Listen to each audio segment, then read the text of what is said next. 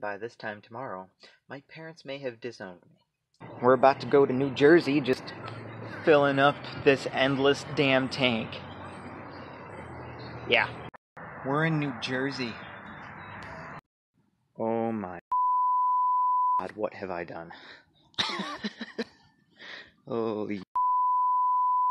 It's here at the house though. Thanks, John.